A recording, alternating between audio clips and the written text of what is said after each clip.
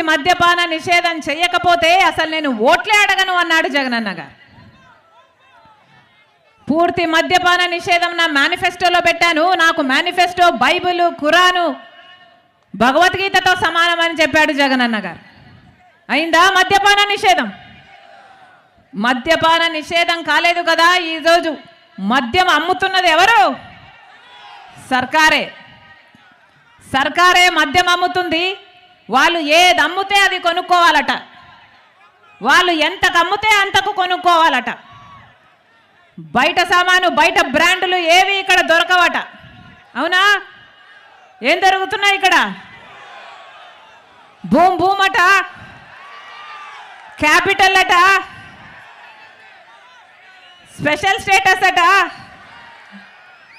ఆఖరికి డిఎస్సి కూడా అట.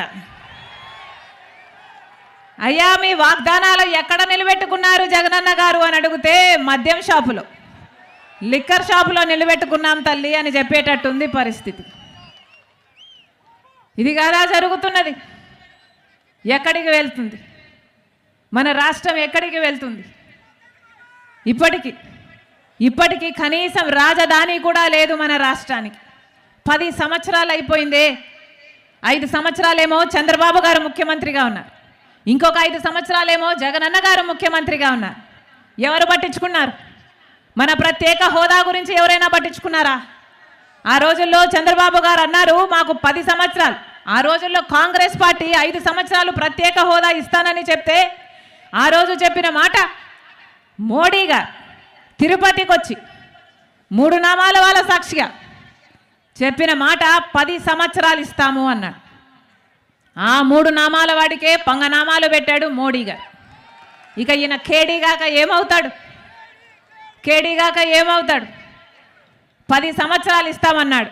ఇప్పటికి ఒక్క సంవత్సరం కూడా ఇయ్యలేదు. పది సంవత్సరాలు గడిచిపోయింది. కనీసం ఆలోచన కూడా చేయటం ఆ రోజు చంద్రబాబు గారు చెప్పిన మాట మాకు పది సంవత్సరాలు సరిపోదు పదహైదు సంవత్సరాలు కావాలి అన్న.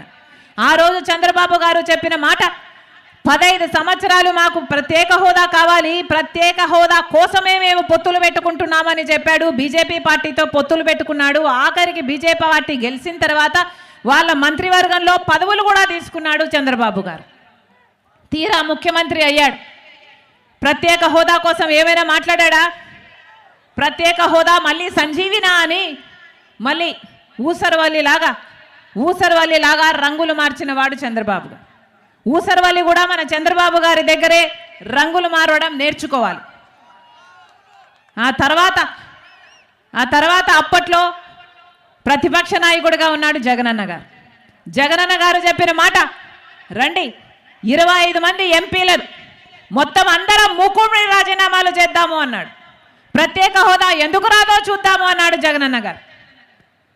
జగనన్న గారు వచ్చిన ఎన్నికల్లో పోటీ చేస్తే ప్రత్యేక హోదా అంశం తీసుకొని పోటీ చేశాడు.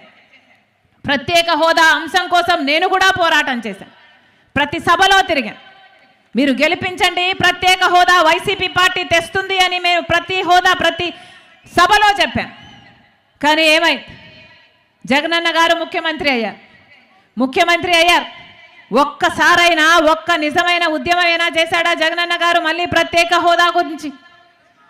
ఒక్కసారైనా మోడీ గారిని ప్రశ్నించారా? ఇన్నిసార్లు ఢిల్లీకి వెళ్తున్నారు వస్తున్నారే? ఇన్నిసార్లు ఢిల్లీకి వెళ్తున్నారు వస్తున్నారే? దేనికి వెళ్తున్నారు?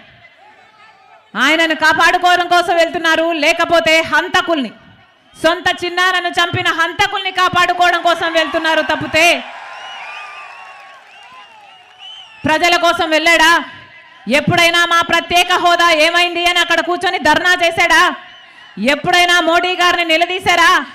అప్పుడు ముకుమ్మడి రాజీనామాలు చేద్దాం రండి అని చెప్పిన జగనన్న గారు.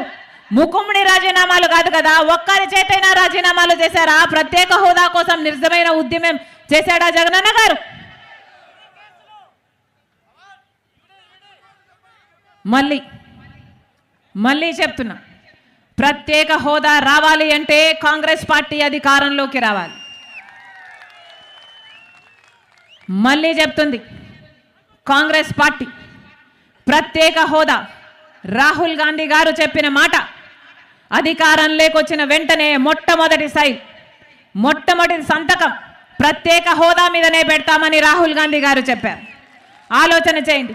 ఒక మనిషికి ప్రత్యేక హోదా గురించి ఎంత చిత్తశుద్ధి లేకపోతే ఆంధ్ర రాష్ట్ర ప్రజల గురించి ఎంత చిత్తశుద్ధి లేకపోతే మొదటి సంతకమే ప్రత్యేక హోదా మీద పెడతానని చెప్తాడు. మేము మాటిస్తున్నాం.